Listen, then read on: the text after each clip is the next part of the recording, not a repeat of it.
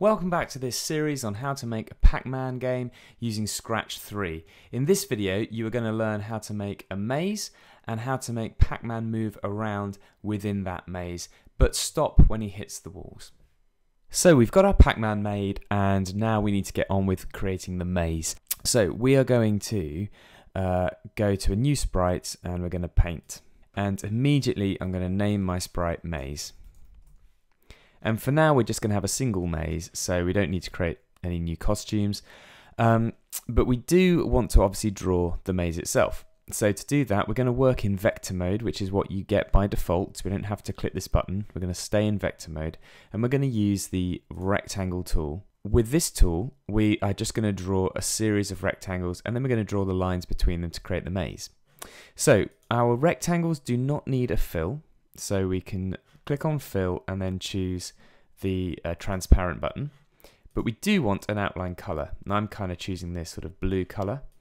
And you'll want to set a thickness to probably, I've chosen 15. Um, it's up to you. You can try a different thickness. Um, but then all you need to do, uh, because we're using the rectangle tool, is click in the corner and drag a rectangle out. And that will create really straight lines for our maze. And you'll notice it seems a bit off center until you set the X value here for your maze to zero and the Y value to zero. And once you've done that, it will start drawing in the right place. So you next want to draw um, another rectangle, so you can put that wherever you like. Try to keep it a consistent thickness all around, but because we're working in vector mode, we can actually adjust these later if we need to. So if you've made it a bit too close on one side, you can use the little drag handles to resize. And we're going to do another one of those and another one of those. Okay.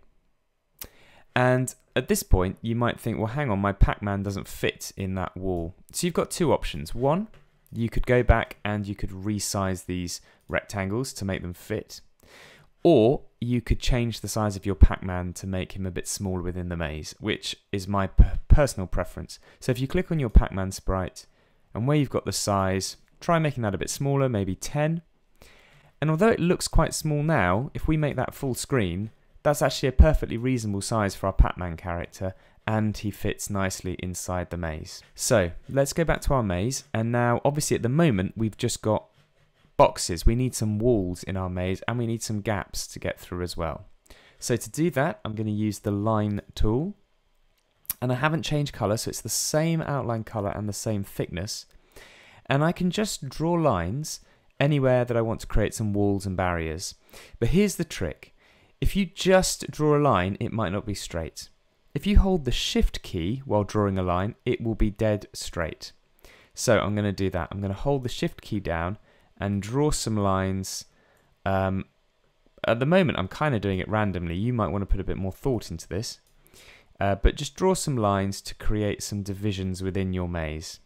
And once you've got your lines, we also need to draw some gaps. So to use to do that, we're just going to use the eraser tool and we'll just create some spaces. And that opens up some holes in the walls. And again, you're going to need to apply a little bit of thought because you need to think, well, can my Pac-Man get everywhere? So if I started my Pac-Man here, he'd be stuck. So let's create a gap. Now we can get up here, but he'd again be stuck. So let's create a gap maybe here, perhaps. So we can come up here, go around here. Can get around here, get up here, get down here. We can't get into here, so maybe we need a gap there. Um, and you just need to sort of experiment and just make sure that you've created enough uh, space for Pac-Man to move around.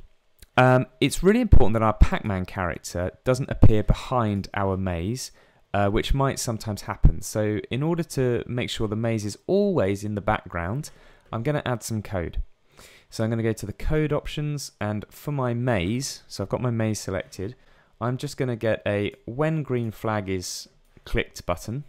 So when green flag is clicked, I'm going to go to looks and I'm going to down here where it says go to front layer, let's change that to back and drag that on. So when we start the green flag, send the maze to the back layer. And that just means that Pac-Man, ghosts, power-ups, everything else in the game will always appear in front of our um, our maze, which is kind of what we want. So I've done the maze. The maze is ready to go. I now need to add some code to my Pac-Man because at the moment my Pac-Man is obviously animated and he can move up, down, left and right, but he's not moving anywhere. So we need to add the code to make him move, but not only to move, but also stop when he hits the walls. Otherwise, people could just go through the walls and the game would be really easy. So to do that, we are going to um, add a little bit of code in a new forever loop. So I'm going to go and get another when green flag is clicked and another forever loop. And to make Pac-Man move forwards in the direction he's pointing, we just need to grab a move uh, move 10 steps block. But to be honest, 10 is quite a lot of steps. If we were to run that now, he'd move quite quickly off the side of the screen. So let's change that number to something a bit smaller, maybe uh, 2. And let's see what happens now. Okay, so he's moving along at a reasonable pace, and I can change the direction of Pac-Man, but he can go through the walls, which is obviously something we don't really want to happen. So let's fix that. We need to add some code that uses that color detecting nose that we added to check that the color of the nose is not touching the color of the walls, okay? Because if it is, then uh, we want Pac-Man to stop. So to do that, I'm actually going to make Pac-Man a bit bigger again, so maybe size 50, just so I can easily select his nose. And we're going to add instead of always moving forwards, let's just pull that out for a second. And we're going to say, well, let's move forward, but only if, if, uh, and then we're going to use a few blocks. We're going to use a color block, and we're going to use, uh, sorry, a color this is touching that, and we're going to use a not block as well, which we find under operators. So I'm going to put that first of all in my if. So I'm going to say, well, in a forever loop, if something is not happening, then I want to move forward. And the thing that I that we should be checking for, the thing that's not happening, is that the colour of the nose is touching the wall. So we will only move forward if the colour of the nose is not touching the colour of the wall. So to set these colours, it's really easy. You just click on the colour block and then choose this tool for a picker. And then you just have to move your um, mouse over the color of the nose and you'll see that there's a little circle appears to confirm that color. So we're going to get the first of all, we're going to get the nose color. And then for the next one, we're going to get the wall color. So now we're saying, well, if the nose is not touching the maze, then move forward. So let's make our Pac-Man small again. Place him inside our maze somewhere, maybe just somewhere in the middle. If I go full screen, let's test this and see how it works. So it goes forward until he reaches a wall, at which point he stops moving. So that's working pretty effectively. I'm quite pleased with that. Um, there's a few other things we could do just to make this a little more improved.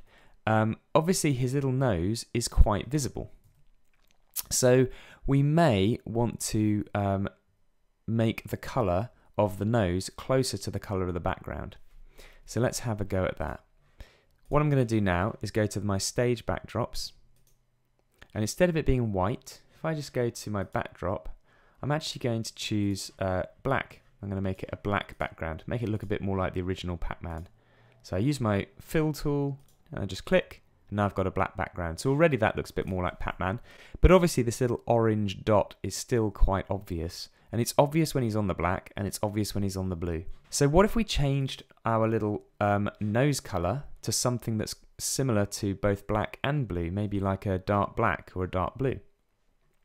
So for that, uh, if I change my fill color now, I'm going to get something that's not quite black uh, and not quite blue. If I just go to the blues now, so that's a dark blue. It's very similar to my wall color. Maybe if I make it blacker, that is almost black, and to the human eye, that probably looks like black. But for the computer, it's a totally different color to the pure black that we have as the background. So with that fill color selected, I can click on the little nose, and it's now changed to a sort of black color. And if I go to uh, my other costume and do the same, so I'm using the exact same color on both, I now obviously need to change my code for this to work. So I'm going to make Pac-Man big again. This time I'm going to make him full size. And you can just see his nose there. So let's go back to our code and change the nose colour from orange to our new dark blue. Put Pac-Man back to being 10%. And now, when we play the game, it's far less obvious. I mean, when he's against the back black background, you barely notice it at all. When it's over the blue, yeah, you can see it a little bit, but I think we can forgive that. And I don't think most people, when they're playing the game and they're focused on the um, all the enemies and the dots they're collecting, I don't think most people would notice that.